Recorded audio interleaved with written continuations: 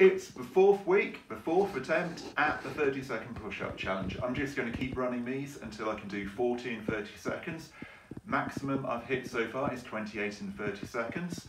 This week I've managed a personal best in the deadlift and the overhead press. Numbers are still fairly small, but I watched a really good video by Omar Isuf. Oh, I'm not quite sure how to pronounce it. The just cracking, how's it cracking? I'm not sure. He's the guy which looks like a vampire despite the fact he lives in California. I don't understand it. He kind of looks he kind of looks like he should be considerably darker than me, but he's not. I don't know, I don't understand, but it's an excellent lifter, excellent advice. Check out his overhead press video, it really helped me out.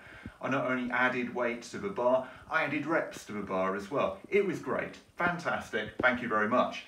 Anyway, I'm going to try this now and I'm going to see how I go on this. Okay, hopefully I can get this to work this time and not just spend the next 30 seconds swearing at the machine. Okay, three, two, one.